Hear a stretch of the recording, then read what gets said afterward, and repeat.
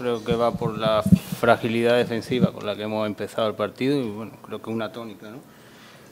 En el minuto 6 va 0-2 abajo en casa con dos ocasiones que te han hecho. Pues por eso te digo, creo que hemos sido muy frágiles defensivamente y es una losa difícil de, de luego intentar remontarla. Eh, ese 0-2 minuto 6 es difícil, luego el equipo pues, ha intentado por todos los medios, creo que en la segunda parte ha visto ocasiones de sobra para poder empatar el partido, pero en esta categoría es difícil empatar, para, o sea, dar, dar la vuelta al resultado y más un 0-2. Lo hemos intentado, no se nos está dando y nada, hay que seguir.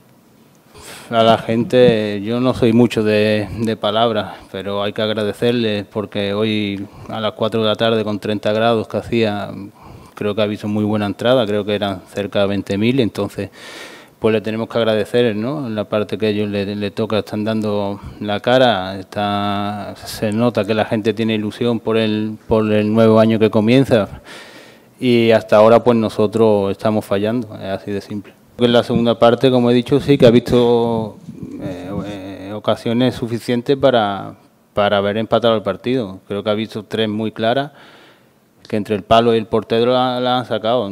Como repito, no se nos está dando quizás esa pizca de suerte. Lógicamente, antes, anteriormente para ir 0-2 y luego 1-2 en casa al minuto 6 lo tienes que haber hecho muy mal y hay que reconocer que en ese sentido hemos estado mal, pero luego creo que en la segunda parte hemos tenido ocasiones de sobra para poder empatar el partido, pero no se nos está dando. Los principales jodidos de, todo esto, eh, al final eh, todo depende de nosotros y, lógicamente no es lo que queríamos. Eh, hay que ser conscientes de, eso eh, y cómo se saca, pues hay que tener calma en la medida de lo posible porque creo que estamos en la jornada 4 y, todo es muy, muy pronto, se está precipitando todo mucho, pero pero creo que dentro de todo este revuelo que hay tenemos que estar de puertas para adentro tranquilos, eh, lógicamente reconociendo errores, viendo fallos que tenemos, que lógicamente nos penalizan mucho los domingos, pero no, no conozco otra receta que no sea la del trabajo diario. Eh, sabemos en la plaza en la que estamos, eh, pero creo que esto es cosa de todo, no es solamente cosa del míster y, creo que no es justo que, se, se, diga esto. Aquí